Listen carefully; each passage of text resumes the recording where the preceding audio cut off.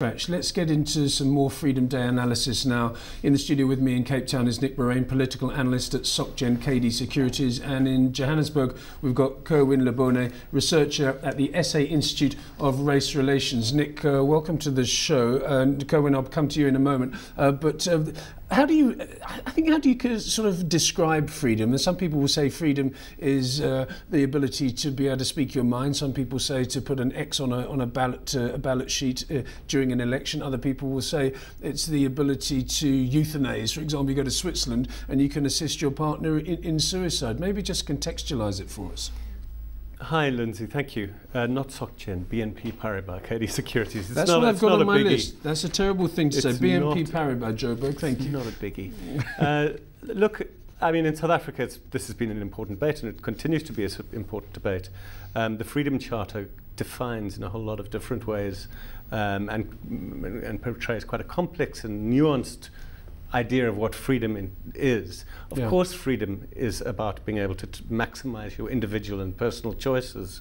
But I think in South Africa, the point has been made very well. The freedom from want, the freedom to have a house over your head, the freedoms that come as you move away from poverty, the freedom that comes as a result of the adequate provision of, so provision of social services is as important as the freedoms uh, to, to, to say what you want um, to of movement, um, freedom from the, the, the classic oppression of the apartheid state.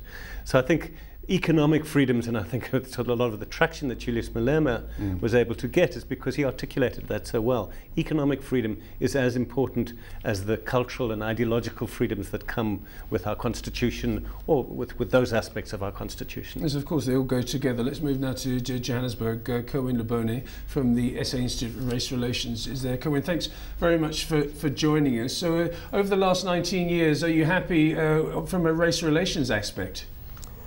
Uh, yes, there have been uh, improvements. Uh, surveys have shown that um, race relations uh, between different population groups have improved uh, since after 1994, the first uh, multi-party democratic elections. So we are moving in the right directions, but there are challenges. to give an example, there is a case against the Department of Correctional Services by de Klerk Foundation and AfriForum uh, based on unfair treatment of uh, population groups that are not African.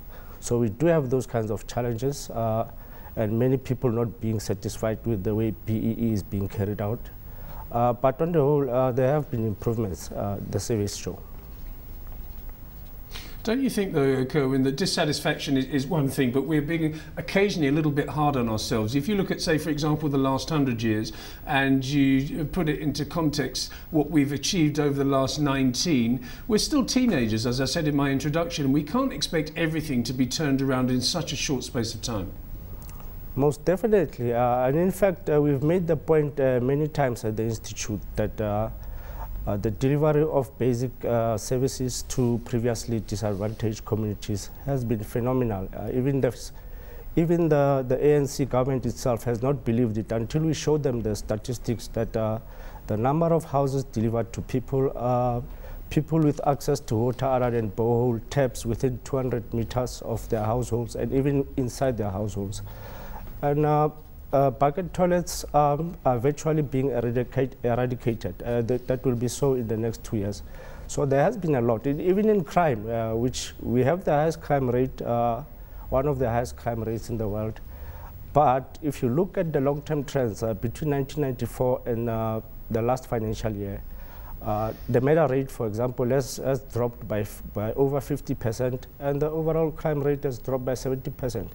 So there have been improvements, uh, and like you say, we are being hard on ourselves. I guess we've set ourselves high standards, and that might, uh, the dissatisfaction might stem from that fact. Very good. Nick, what do you think? We do set ourselves high standards, but it's always good to, to aim high. Where have we failed over the last 19 years? I will ask, answer uh, where I think we failed over the last 19 years, but um, I think we do set ourselves high standards in the sense that we have one of the most sophisticated constitutional frameworks and dispensations, um, uh, institutions that protect and defend our, our, our, human rights and our freedoms, that have functioned extremely effectively and continue to do so.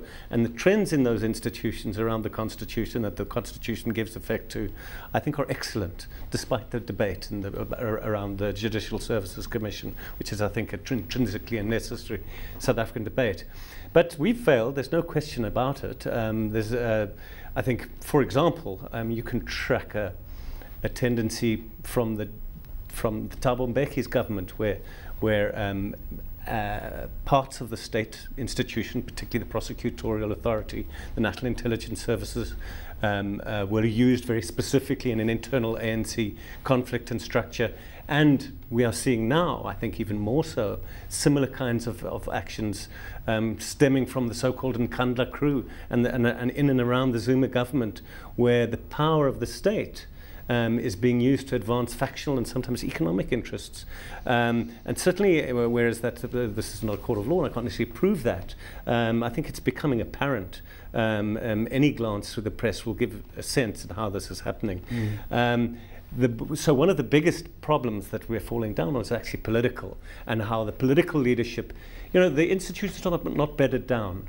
19 years is not as long as you might think, and predatory individuals and elite groups are still able to use and, and avoid justice, for example, through those institutions to the detriment of all of our freedom. Are you saying then we're not being, uh, we're, we're not being, uh, said an example from the top? I want to put this to Kerwin now, Kerwin Lebone in, in the in the Joburg studio. Uh, Kerwin, you heard what Nick just said, uh, now it's almost as saying in a, in a very politically correct way, the the example from the top is not one that is um, exactly ideal, and in fact, what the the movement towards a unified South Africa is actually coming from the, the man and woman on the street.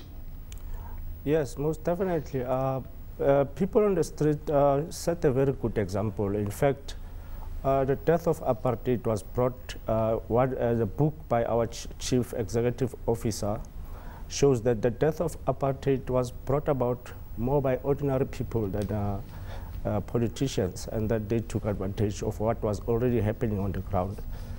our leadership, um, because of contest for, for, for political office, the leadership of the country, uh, I would agree with uh, our analysts that has really set a, a bad example for, for, for uh, ordinary people to follow and that uh, in most instance, instances they've been very, very divisive.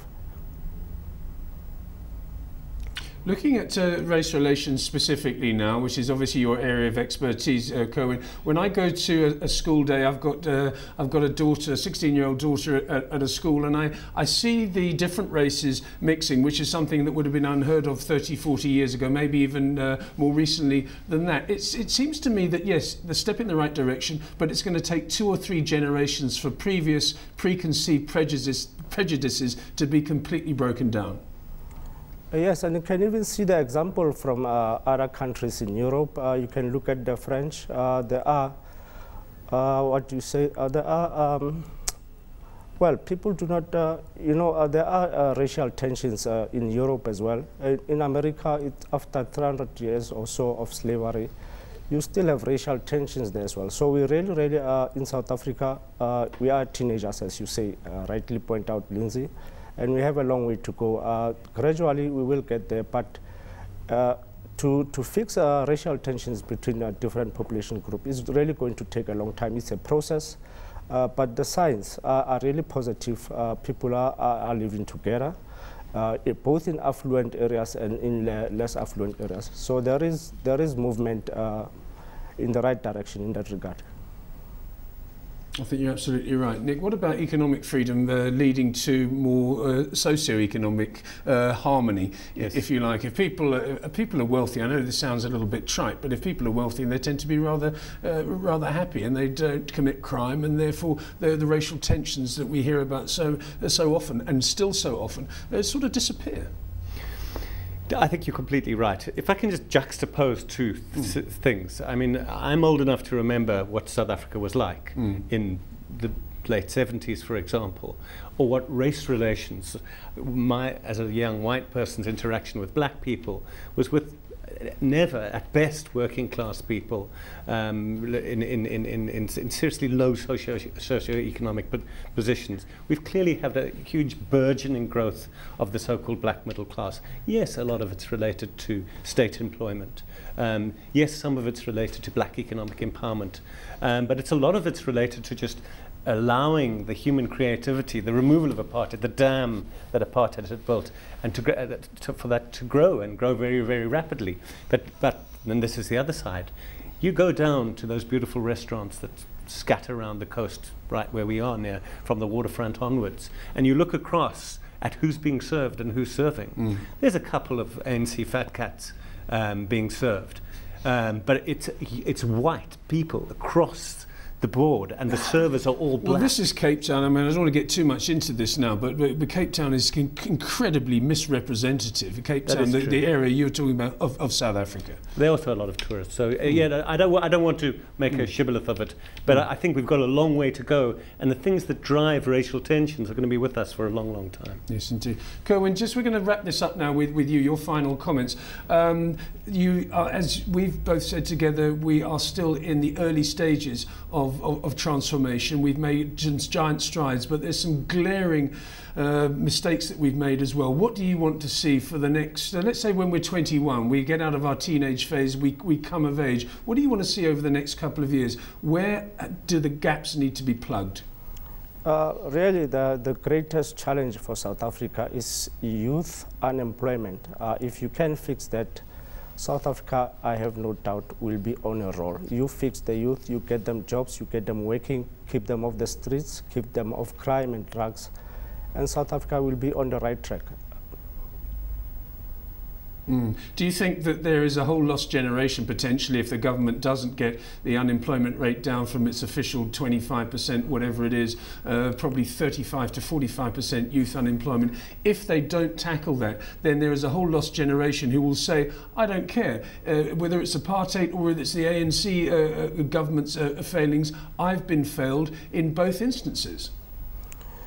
We have already seen the signs uh, from anecdotal evidence from uh, press reports. Uh, people who do not have a stake in the South African economy uh, will never uh, care, uh, you know, about investment, attract, attracting foreign direct investment.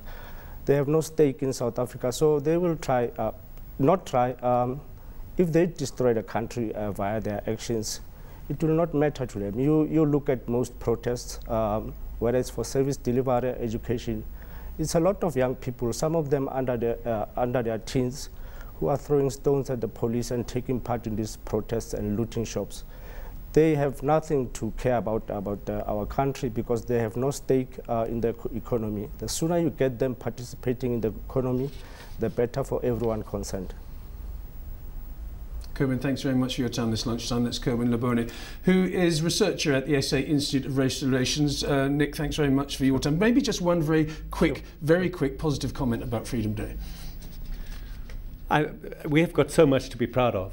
Um, Freedom Day is, in, in, terms of where the world has been in the last 50 years, South Africa and what happened, that what we are celebrating on Freedom Day, is one of the great human achievement, achievements of the last two or three hundred years.